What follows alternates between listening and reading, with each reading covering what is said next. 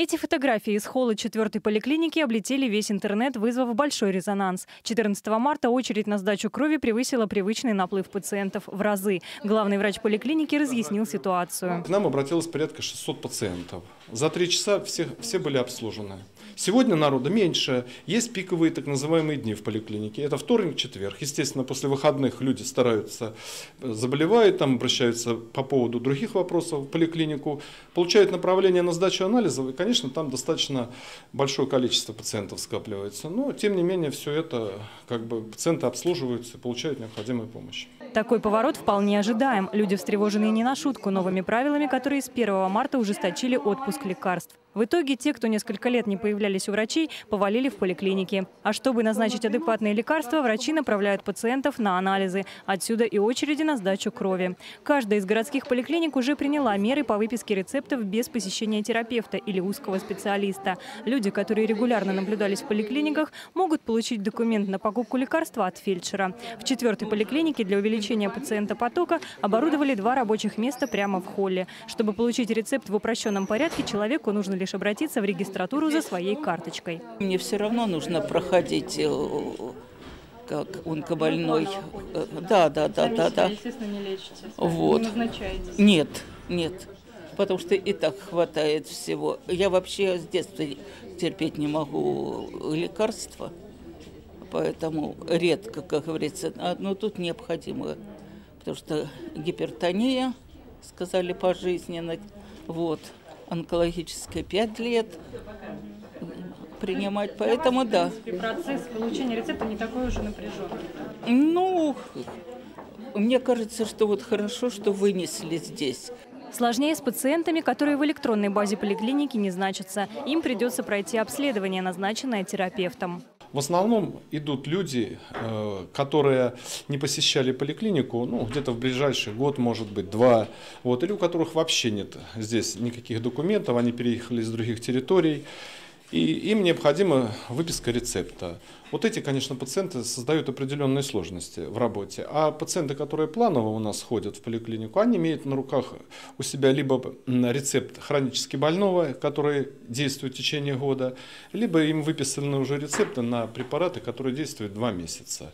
Поэтому такого ажиотажа какого-то мы не видим. С начала марта в Департамент здравоохранения поступало много жалоб на аптеки, которые не продавали ни зеленку, ни простейшее обезболивающее. В Росздравнадзоре утверждают, такие действия равнозначны нарушению. До того, что не отпускали шприцы, презервативы, э, пентальген и цитрамон без рецепта.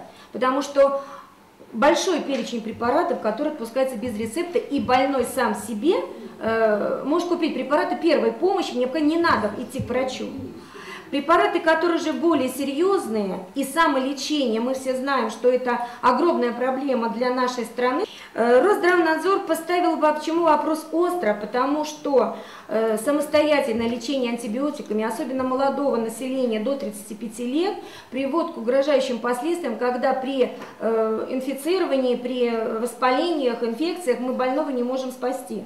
То есть э, применяются уже резервные антибиотики, и хорошо, если они помогают. Эксперты Росздравнадзора отмечают, что списков рецептурных препаратов как таковых нет. Фармацевтам необходимо ориентироваться на аннотации к лекарствам и реестр препаратов. Без рецептурного отпуска все на витрине. Вот препараты – это все безрецептурный отпуск. Тут много препаратов.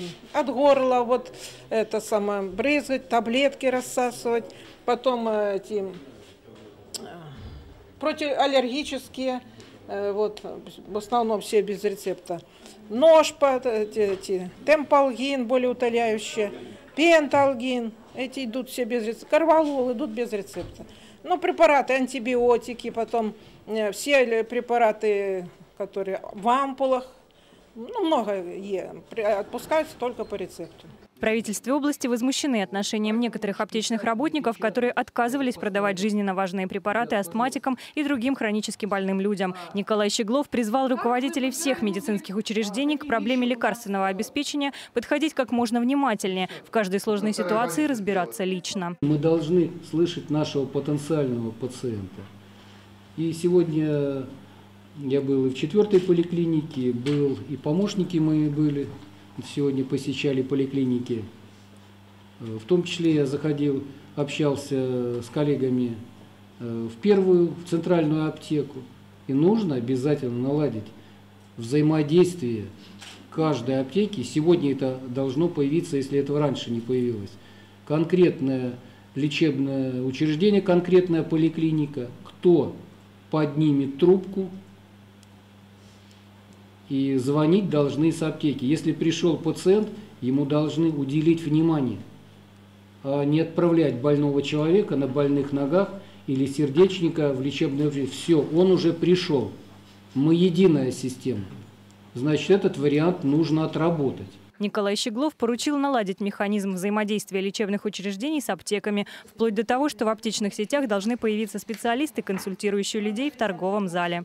Недовольных пациентов быть не должно. Четкий механизм работы с выпиской рецептов населению замгубернатора поручил доработать к 17 марта. В этот день состоится региональная коллегия по здравоохранению. Александра Седачева, Владимир Шалободов. События Брянск.